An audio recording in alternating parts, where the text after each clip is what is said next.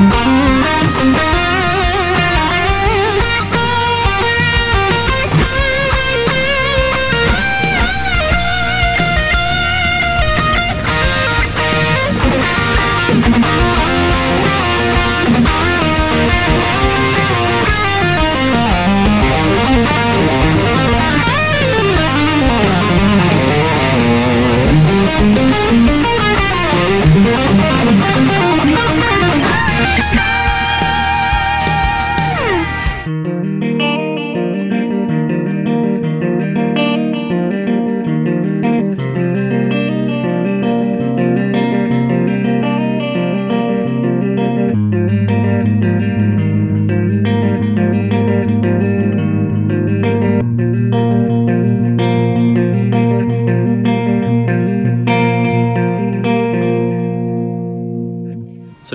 ครับผมนัทคอร์แท็บนะครับส่วนในคลิปนี้นะครับก็จะมาสอนอินโทรแล้วก็ท่อนโซโล่เพลงแพ้ความอ่อนแอของ Silly Fools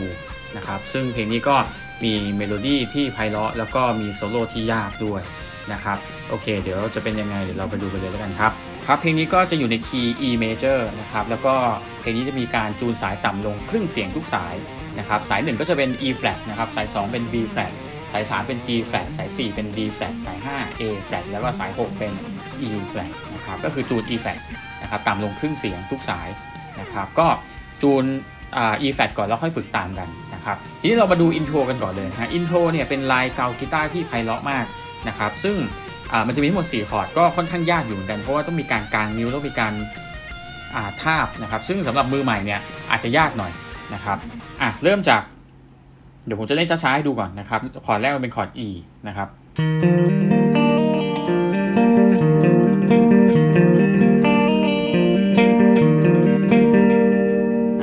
เล่นเขาจะเล่นเอ่อสองรอบนะครับคอร์ดละสองรอบ ทีนี้นิ้วชี้ทาบที่สาย 1 2 3 4นะครับอ่าเฟดที่4นะครับแล้วก็นิ้วก้อยเนี่ยไอ้ตรงเนี้ยแรงนิ้วก้อยต้องเยอะหน่อยนะครับกดที่สาย 5 fret ที่ 7 นะครับ เป็นเบส E นะครับ แล้วก็สาย 4 จะมีการ hammer on นะครับ ก็คือดีดที่นิ้วชี้แล้ว hammer on ลงมาที่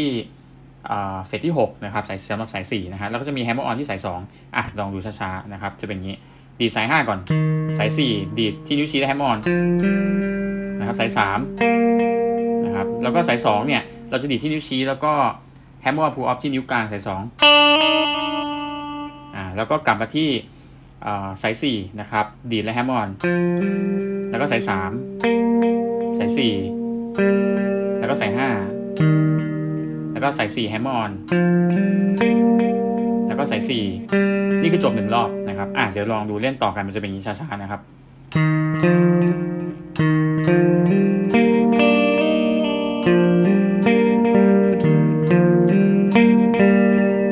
อ่าแบบนี้นะครับ ทีนี้เราก็เล่น 2 รอบต่อกัน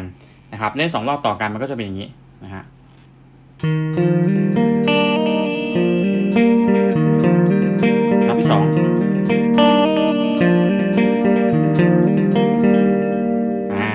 นี่คือคอร์ดแรก E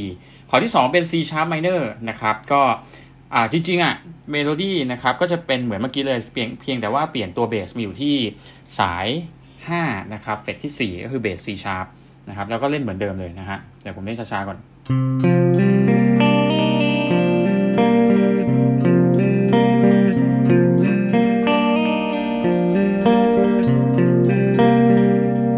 งเกตว่าเหมือนกันเลยเพียงแต่ว่าเปลี่ยนเบสมอยู่ตัวนี้อะดูใหม่นะครับ ก็คือดีเบสตัวสาย5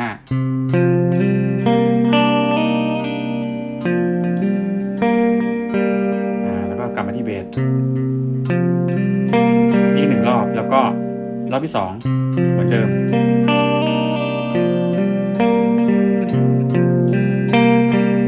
อ่าเหมือนกันเลยนะฮะเหมือนกันเลยนะครับท่อนต่อไปนะครับก็จะเป็นอ่าคอร์ดเปลี่ยนมาเป็นคอร์ด A นะครับ A ทีนี้อันนี้อันนี้ก็ยากอยู่นะครับ ก็จะเป็นนิ้วชี้ทาบอยู่ที่เดิมนะฮะแล้วก็เบสนะครับ A สาย5เฟดที่ไอสาย6เฟดที่5นะครับก็จะเป็นลักษณะนี้นะครับ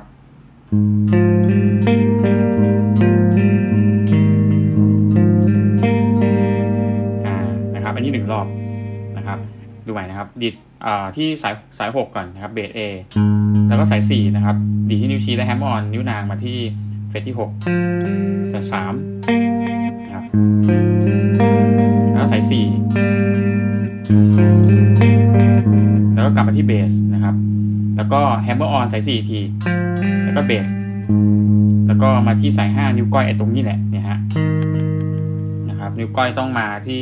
สาย 5 เฟสที่เฟสที่ 7 นะครับ แล้วก็ ต่อด้วยเบส แล้วก็แฮมเมอร์สาย4ทีนี่คือจบหนึ่งรอบนะครับ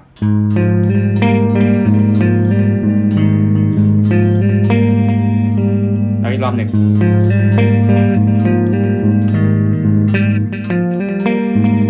อ่านะครับอันนี้อันนี้ยากหน่อยนะครับ ผมก็เพิ่งแกะเหมือนกันนะครับคอสุดท้ายจะเป็น B นะครับ B ก็คือตรงอ่าเบสนะครับนิ้วก้อยนะครับเปลี่ยนนิ้วก้อยมาที่สาย 6 fret ที่ 7 นะครับ แล้วก็นิ้วชี้ทาบที่เดิมนะฮะ ก็จะเป็นลักษณะนี้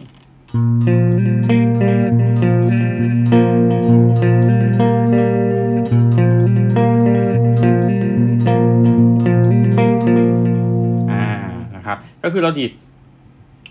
ตัวเบสนะครับ แล้วก็ hammer on สาย4นะครับ แล้วก็สาย3นะครับ แล้วกลับไปที่สาย4แล้วก็เบส แล้วก็แฮมมอร์น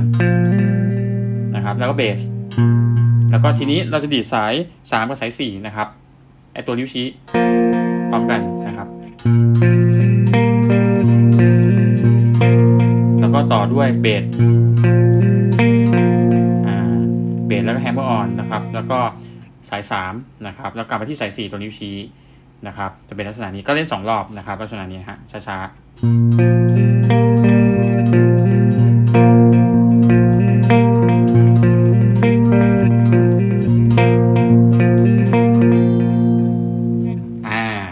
ยากหน่อยสำหรับสำหรับมือใหม่นะครับ เพราะว่ามันต้องมีการนิ้วก้อยเนี่ยต้องแข็งแรงมากๆนะครับในการโก่งแล้วกดให้มันแน่นนะครับ นิ้วชี้ก็ต้องทาบแล้วก็ไกลด้วยนะครับโอเคเดี๋ยวเราไปดูท่อนโซโล่กันเลยครับครับสำหรับท่อนโซโล่นะครับเราจะเริ่มจากตรงสาย5นะครับเดี๋ยวผมจะเล่นช้าๆให้ดูก่อนนะครับ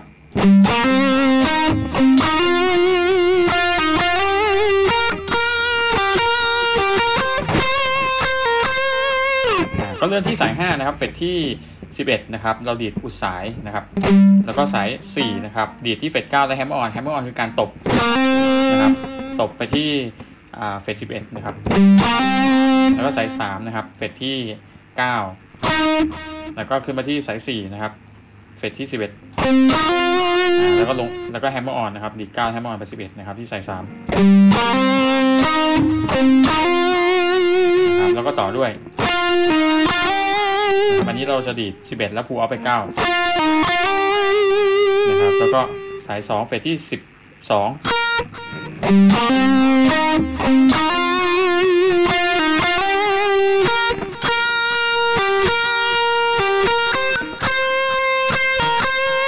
อ่านี่ก็ 14 นะครับ อ่า ดูใหม่นะครับ ตรงนี้สองครั้ง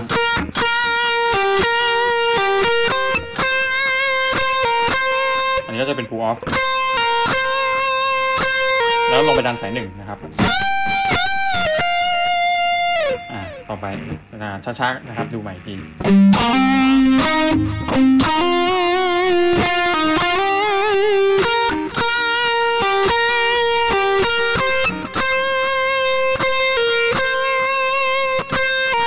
นะครับด้านสายหนึ่งเฟสที่ 14 นะครับหนึ่งเสียงนะครับด้านสองครั้ง ลงมา pull off แล้วกลับไปที่ D14 นะครับ แล้วก็ D14 ครั้ง pull off แล้วก็อีกครั้งหนึ่งอ่าตรงนี้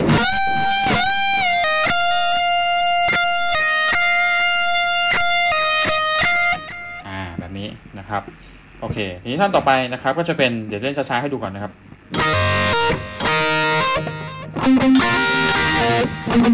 อ นี่จะเป็นเล่นลักษณะเป็นคู่สายนะครับ ก็จะทาบนิ้วชี้นะครับที่สาย1กับสาย2เฟสที่ 12 นะครับ แล้ว hammer on ดีดพร้อมกันนะครับสาย1สาย2และ hammer on ที่สาย2ครับนะครับพอเรา hammer on สาย2ปุ๊บแล้ว pull off แล้ว hammer on นะครับแล้วก็มาที่สาย4นะครับนิ้วชี้ทาบที่สาย4 3 2นะครับ แล้วก็แล้วก็นิ้วกลางนะครับ เราจะอยู่ที่ สาย2เฟสที่12นะฮะเราจะเล่นอ่าอุดสายนี่นะครับแบบนี้นะครับ เราจะ hammer on ที่นิ้วนางนะครับ คือสองตัวเนี้ยสองสองนิ้วเนี้ยเรากดไว้นะครับอ่าแบบนี้นะครับ แล้วอุดอุดที่สายสี่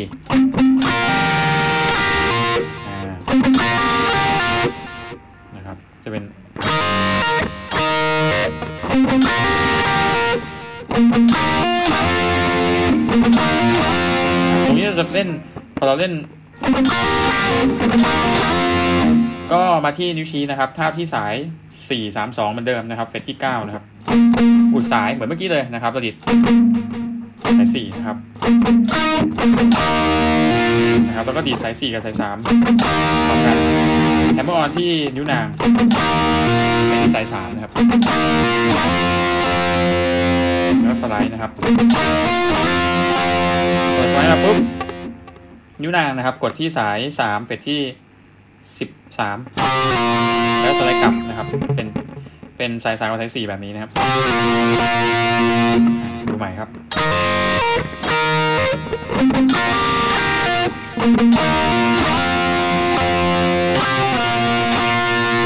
แล้วก็ต่อด้วยนะครับช้าๆใหม่ ต่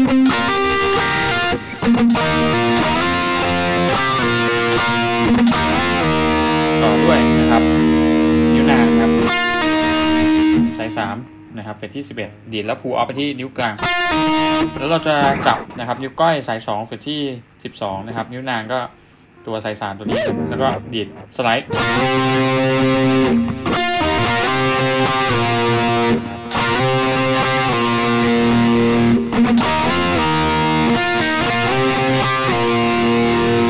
สไลด์ไปสไลด์กลับ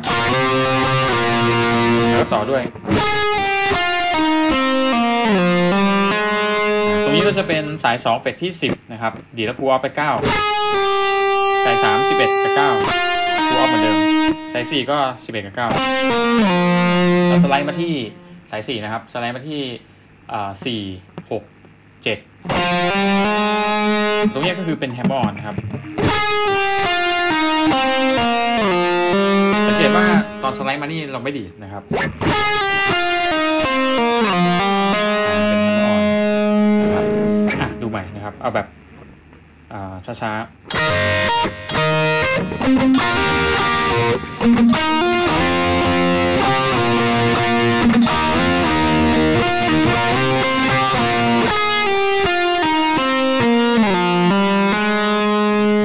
ตรงนี้นะครับดูไม่ทันก็ย้อนดูใหม่นะครับ เพราะว่ายังยังไม่มีอะไรเท่าไหร่ก็จะเน้นเรื่องการเล่นเป็นคู่สายนะครับท่อนต่อไปเนี่ยอันนี้ยากนะครับเริ่มยากแล้วก็จะเป็นลักษณะนี้เดี๋ยวผมเล่นช้าๆให้ดูก่อน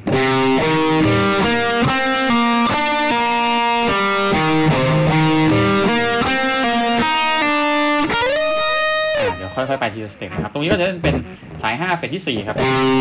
แล้วก็สาย 5 เฟสที่ 7 สาย 4 เฟสที่ 6 3สาย3ก็จะเป็นอ่าเล่นเฟสที่4นะครับ6 8อ่าตรงนี้เราจะดิด6แล้วพูออฟแล้วก็8แล้วพูออฟด้วยกลับขึ้นไปลงมาเหมือนเดิมอ่าทีนี้เราไม่ไป8แล้วเราจะ6เสร็จปุ๊บแล้วลงที่สาย2นะครับ2ก็จะเป็นสาย2ก็จะเป็น5กับ4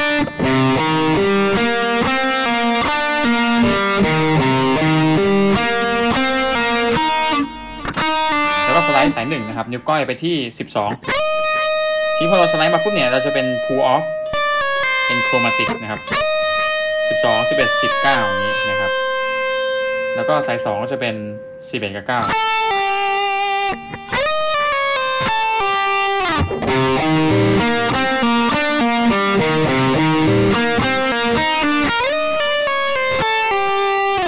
ก็จะเล่นเป็นเลกาโต้นะครับเลกาโต้ก็เป็นการแฮมมอร์ฮูออฟใช้ความเร็วนะครับ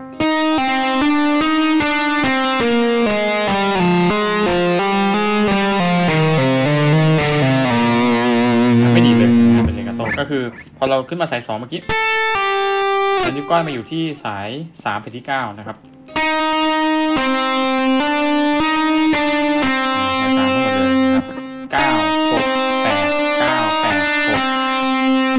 ที่สาย4นะครับ จะเป็นเก้าเจ็ดหกถอยไปสไลด์ถอยไปเฟสที่สี่แล้วก็จะเล่นเป็นเจ็ดสี่หกเจ็ดนะครับเจ็ดเจ็ดสี่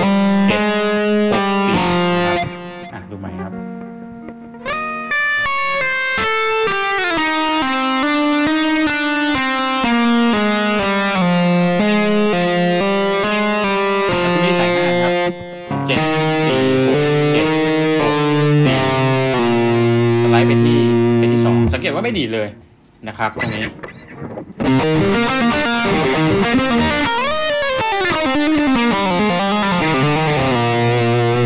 อ่าท่อนต่อไปนะครับก็จะเป็น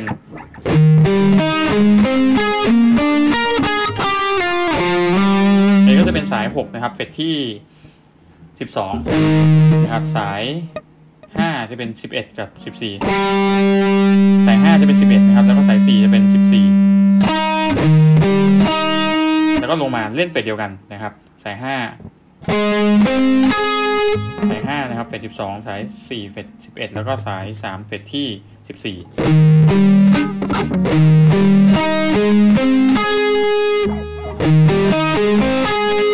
นะครับแล้วก็ต่อด้วย นี่จะเป็นสาย5 14สาย3สาย5เฟสที่14สาย4เฟสที่13 แล้วก็สายสามเฟสที่สิบหกครับ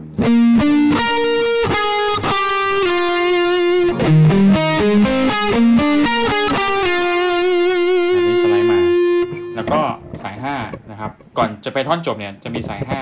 5สไลด์จาก9ไป11ท่อน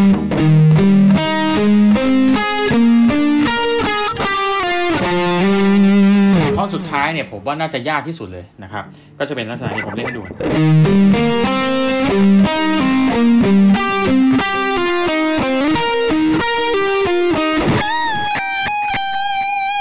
ก็จะเริ่มที่สายอ่าสาย 6 นะครับเฟสที่ 12 นะครับใช้นิ้วก้อย สาย 5 สาย 4 ก็จะเป็นดีด 9 แล้วให้มากกว่า11 แล้วก็นิ้วชี้มาที่สาย 5 เฟสที่ 11 นะครับสาย5สาย4เฟสที่ 14ใช้นิ้วก้อย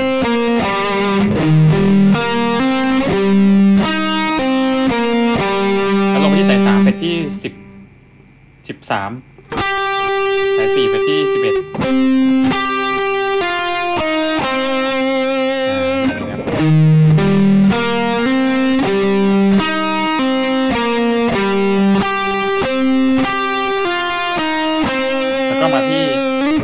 สายสามเฟสที่สิบหกสายสี่เฟสที่สิบสี่อันนี้ผูออฟมาที่สิบสามนะแล้วมาที่สาย4ไปที่ 16กับ14 แล้วก็ดันสาย 1 นะครับ เฟสที่ 17 นะครับ ตอนนี้อันจบแล้วหนึ่งเสียงครับ